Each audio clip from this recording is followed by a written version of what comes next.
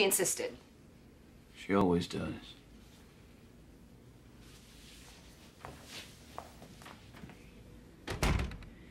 What did you mean you're not going to be around much longer? Don't pretend you care about me. This is about Bill. Deep down, you know you shouldn't trust him. Okay. Tell me why. Well, here's the truth.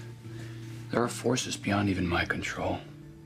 And if I meet the true death without having at least kissed Sookie Stackhouse, that would be my biggest regret. Why does it sound like you're saying goodbye to me? Because I am.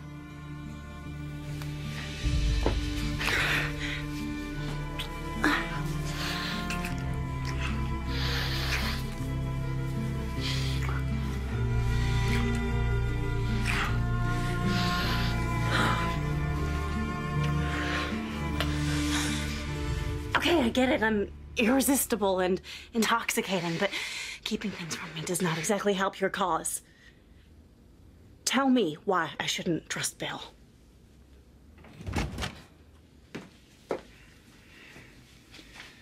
What? Blah, blah, vampire emergency, blah.